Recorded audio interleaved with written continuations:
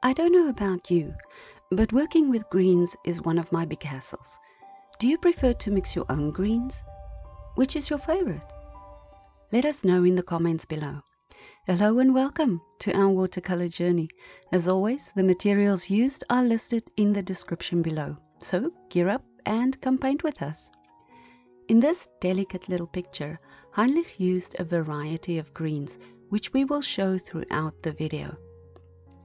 The paper is taped to a flat wooden board and he first masked out some of the areas where he wanted to preserve the white on the paper. If you want to know more about masking fluid, head on over to our video about the marvels and miseries of masking fluid. The link is in the description below.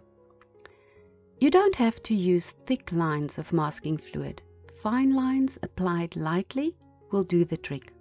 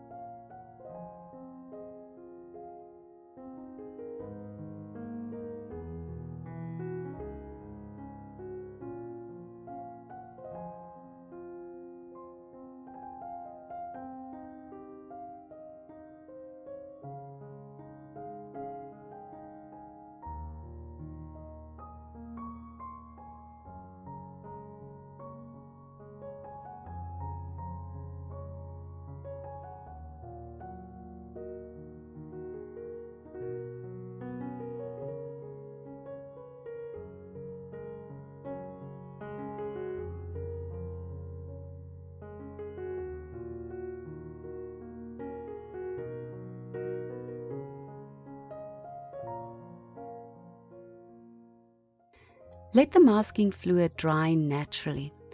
A hair dryer is not a good idea. It makes the masking fluid difficult to remove. It shouldn't take too long to dry, about 15 to 30 minutes, depending on how thickly you apply it. To test for dryness, you can touch it lightly with your finger. It should feel cool to the touch, and it shouldn't adhere to your fingertip. On the palette, we have Hansa Yellow Medium from Daniel Smith, Quinacridone Red from Holbein,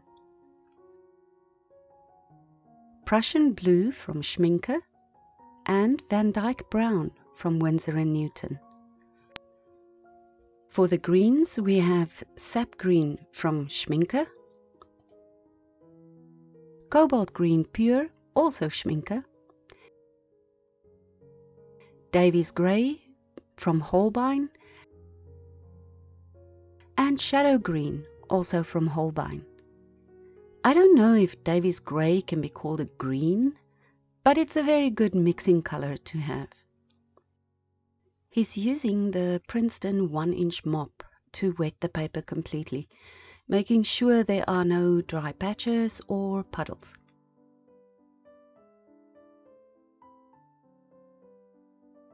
Use a crosshatch pattern to do this.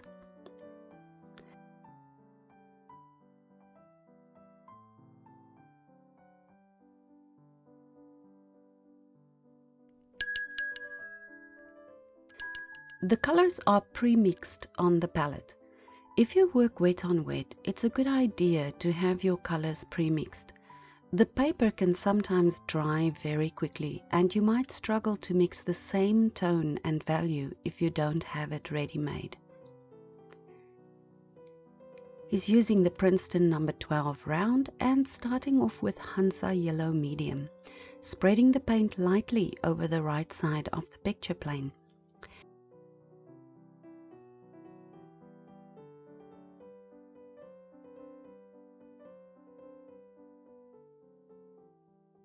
He follows that with quinacridone red, gently mixing the color on the paper to create a lovely orange hue. Next up is Cobalt Green Pure. He allows the colors to mix freely on the paper and he doesn't always clean his brush before loading it. In this way, he gets beautiful, unique color combinations. He adds a touch of sap green, which is a rather bright green, which he then tones down a bit with a shadow green, all the while using quick, light strokes to mix the paint on the paper as he adds the various greens to form different layers.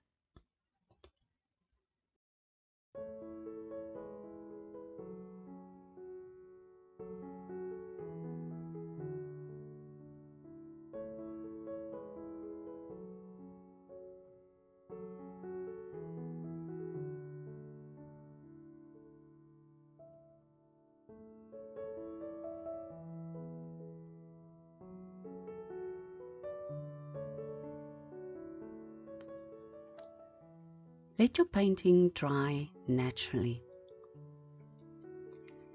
He's using a rubber cement eraser available from Amazon to remove the masking fluid. The eraser lifts the glue easily and doesn't damage your paper. Make sure there's no residue left on the paper before you start working again. He's using the Princeton Snap number 0 round and sap green to paint the initial stems, using the white spaces as guidelines and adding some more stems and leaves as he goes. He adds the different greens to create shadows and definition. The Princeton is a synthetic brush, which is rather rigid. It has a remarkably fine point, and the little belly holds quite a lot of paint.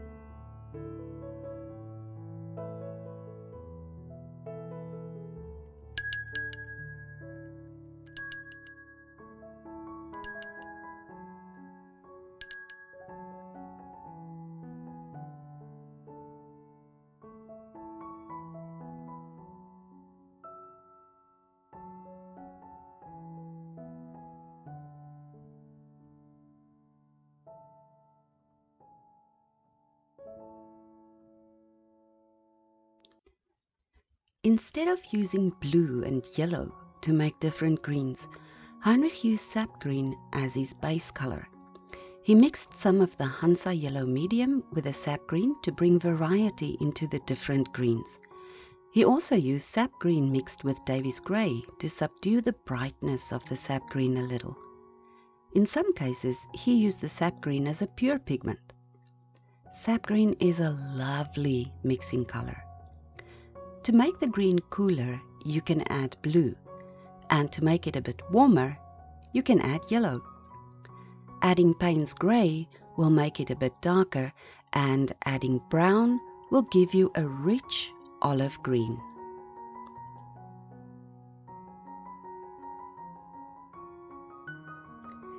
He uses the Van Dyke brown for the stem and shadows on the dandelion adding touches of green as well.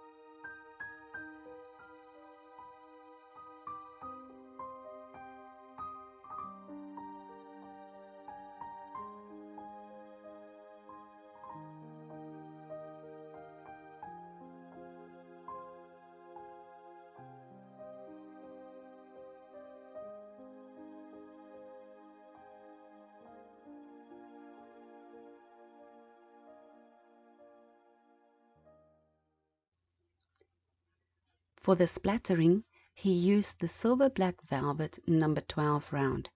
It holds a lot of paint and the flexible tip makes the splattering rather interesting. Be careful here though, as the bigger brushes hold a lot more water and you can easily misjudge the size of the droplets.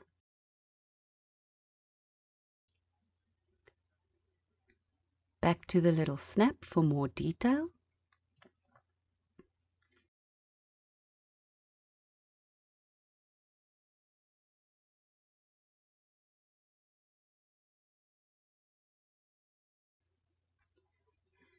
For the flowers he made two premixes, Prussian blue and quinacridone red, and then quinacridone red and Hansa yellow medium. The little flowers are very loose, so they're basically just a few dots on the paper. He started with a blue-red mix, adding dots of flowers randomly, and then adding a few more shadows to enhance the shapes of the stems.